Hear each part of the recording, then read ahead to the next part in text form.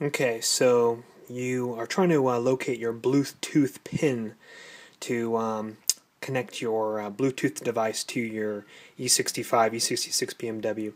Okay, the pin is located on, uh, this is your navigation side right here, the navigation unit, this is the um, driver's side back of the car here.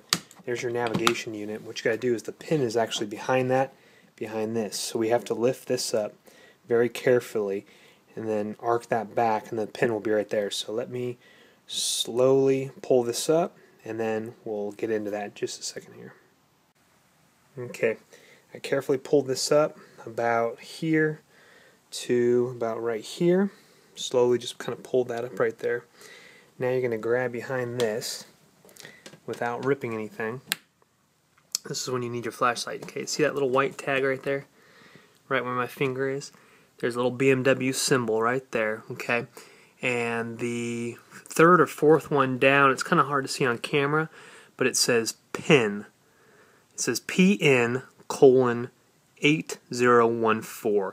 That's mine. Okay, it's going to be different from every BMW, but that is mine.